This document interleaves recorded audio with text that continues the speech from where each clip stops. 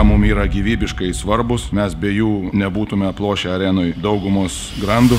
Tikiuosi, kad jie toliau šimtų procentų sekasi, nesiseka, palaikys absoliučiai visą komandą ir visus žaidėjus. Savo abonemento iki rugsėjo 29 dienos ieškok žalgris.lt.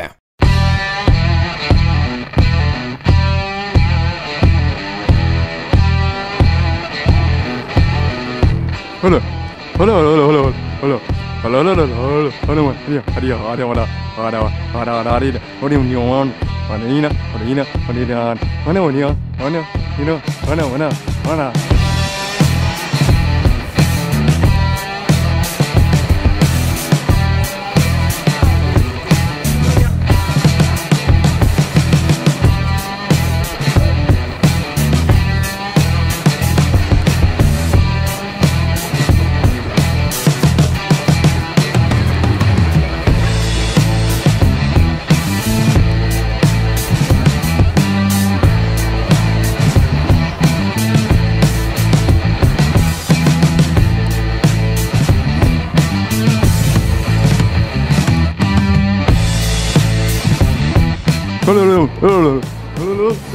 Taip patinka krepšinis.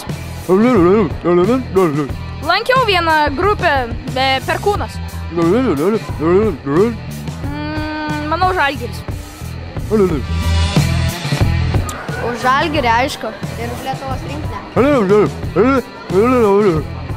Uh, ką?